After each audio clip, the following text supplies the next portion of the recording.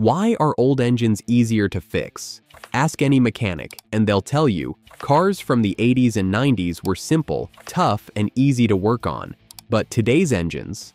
Pop the hood, and it looks like a spaceship under there. So what changed? Back then, engines were mostly mechanical. You could see every part, touch it, and fix it with a few basic tools. There were no sensors, no complex wiring, and no computer deciding how much fuel or air the engine needed. If something broke, it was usually visible and fixable. Modern engines, on the other hand, are packed with electronics, emission systems, and computer controls. They're cleaner, faster, and more efficient, but far more complicated. You need diagnostic scanners, software, and specialized tools just to figure out what's wrong. So yes, old engines were easier to fix, not because they were better, but because they were simpler, built for hands and wrenches, not sensors and software like today's engines.